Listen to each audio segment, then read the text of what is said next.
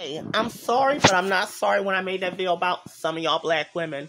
I said I was livid because I'm sick of years y'all want people to respect y'all, but do you respect others?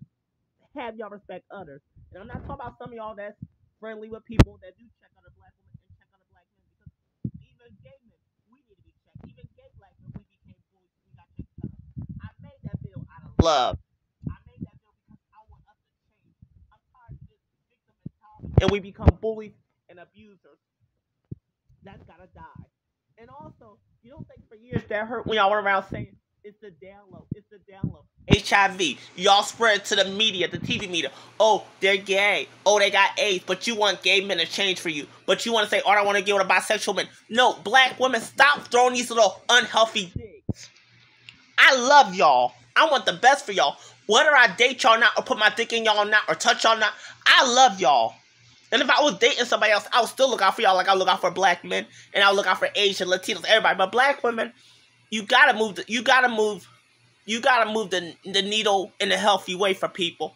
People love you because I even know how some y'all black women be saying, "Never here to other black women." Y'all be making fun of other black kids. Y'all be saying, "Oh, colorism," but y'all y'all praise other race of people.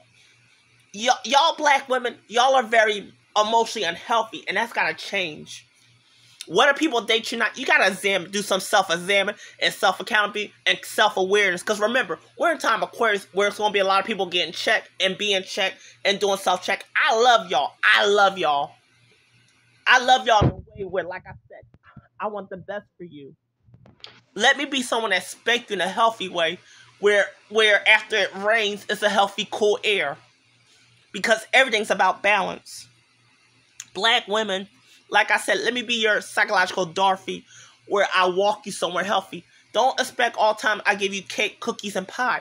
Because if you give that all time to people, where's the balance? You need nutrients. You need you need rain. You need cool air. You need healthy warmth. Let me take you to that healthy middle that nobody never took you to.